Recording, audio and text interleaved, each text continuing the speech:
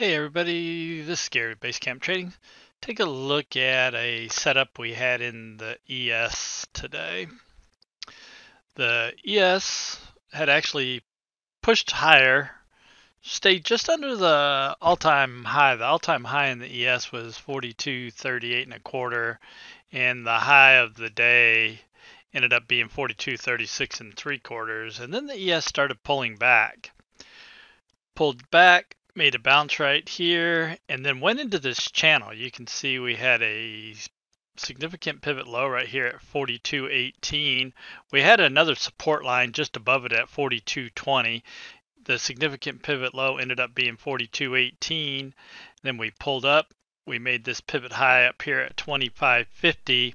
And then you can see the ES just started pivoting inside that area right there and it stayed in that side that area for a little more than an hour, about an hour and 15, 20 minutes. And the longer we're in compression, the greater the chance for a move when we break out of compression.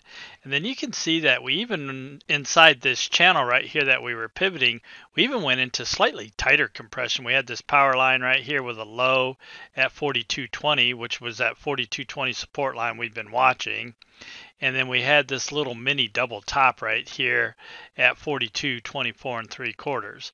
So you could have had a uh, slightly shorter term compression break above the power line at the top and then out the channel or below the support line at the bottom and then out the channel. So the aggressive entry would have been the break of the support line right there at 42.20. Our initial target was actually 42.05. Now we didn't quite get there. We missed it by I believe three ticks. The low ended up being 42.05.75. So it didn't quite hit our target. But if you took the break at uh, 42.20 you had the potential to grab six or seven hundred dollars per contract on the down move.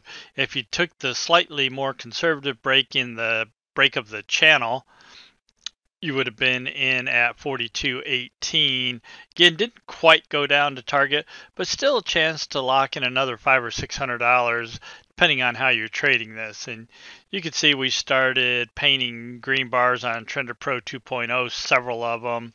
And on the VSI, we were oversold and painting dots. So first reversal bar is always a good place to consider taking profits or target.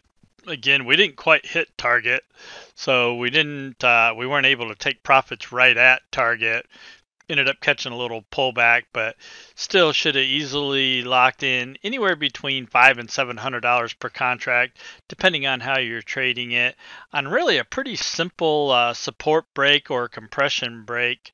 Only took about uh, 12, 14 minutes, and again, potential to lock in between five and seven hundred dollars per contract on that simple compression break.